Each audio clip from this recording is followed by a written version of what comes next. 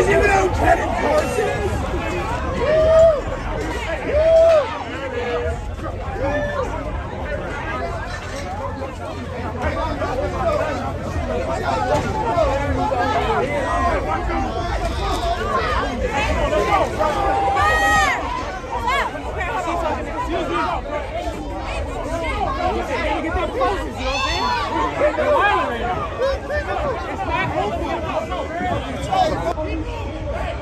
Get up! Get up!